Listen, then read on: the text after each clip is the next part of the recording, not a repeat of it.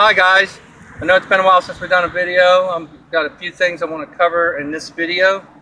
Kelly's filming and she might be a little shaky. She's not used to filming, so bear with us. First off, I have a lot of viewers asking about the, the uh, displays that we use for our sunglasses. So first off, I'm going to do that, and then I'm going to talk about um, our plans, what's wrong with the van. Yes, there's still something wrong with the van, and what we plan on doing about it, and about our plans for the RTR probably. So just hang in there and let me get the sunglass display done and we'll give you more updates. Okay, this is our sunglass displays. Okay? They hold 16 sunglasses. These are from CTS Wholesale out of Oregon. You can go to CTS Sunglasses, I believe, .com and order them. They're $20 each.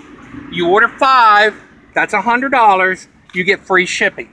Let me go and give you a quick example of how these are. They, they're like this. You just unhook the sides. You pull this up. You lay it down. And they just fold up.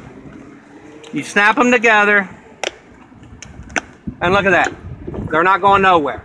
That's why we like them. And look how nice they look on the table.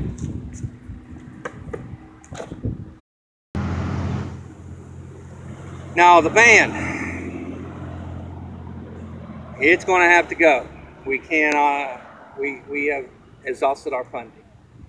And we wanted a high top. We can't find high tops around here, but the funny thing is we can find $1,000, $2,000 regular cargo vans around. We was looking into um, school buses and all this, but we just, we decided there's if it breaks down, it, it's too much. And too much repairs on it. The, the, the, the largeness of it, everything about it just made us decide not to. So now we're going to try to just get a, a thousand, two thousand dollar cargo van because I don't want to sit here for a year, six months to a year, saving up money to get a five or ten thousand dollar vehicle. That's not going to happen. Our lives are are, are, we are nomads, and that's what we do. So we'll get the thousand, two thousand dollar van. Um, I'm hoping to show you guys some of the van build on that because obviously we're going to have to build it, and we're going to take products or fabrications out of this van and put it in the other one so we can save money. And then we're going to take off. Now, I don't want to say a date or a time because every time we do this, something happens. Okay, so in the near future, we plan on taking off. We're heading west again, and uh, we do plan on attending the RTR. We will announce when we're taking off about a week before we're taking off, when we're pretty sure we're going to. And anybody that wants to travel along or meet up with us along the way is welcome. We're going to uh, probably go into Texas uh, first and spend some time in Texas doing some flea markets there. Um, how, which way we're going, I don't know. Uh, we was wanting to make Jamie's van build, but it's in November, and we're not going to be able to do that. The RTR now, if you want to meet up with us there, we'll give you more information in a in another video about that. And uh, I don't know how we're going to, uh, what's going to happen at the RTR. I uh, I want to do some other things, help other people, um, but I'm not going to commit to nothing yet. If you need some, if, if, if you want to meet us and have a little minor stuff done, I'll see what we can do. Minor stuff with your van or, or a little bit of upgrade. Um, but I, we would like to see you there. And we, heck, we'd like to travel out to the RTR with you if you want to meet us somewhere. Now, now the band, Trouble, she's not for sale at the moment.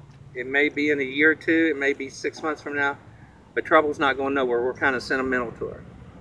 I don't know why we're not selling her. We just can't part with her at the moment. Um,